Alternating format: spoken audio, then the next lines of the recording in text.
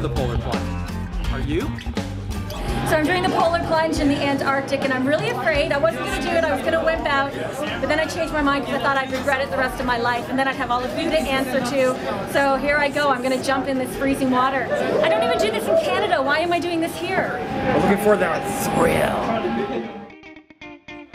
It's just an invigorating swim. It's just an oh, invigorating swim. I'm really scared.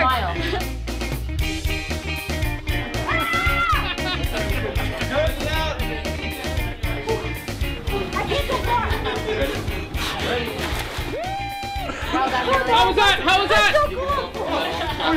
How was it? How was it? Oh, terrible! I didn't like it! I didn't like it! I didn't like You it! loved it! You loved it! You loved it! It's three degrees outside, going into some zero degree weather. If the camera's shaking, it's because Deb just did it and she's freezing. Yeah. Our fabulous kayaking guides, Solon and Bell, are taking care of us today. Yay!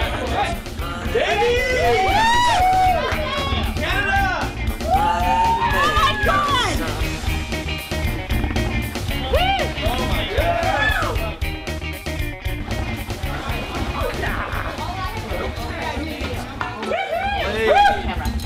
Body's numb now.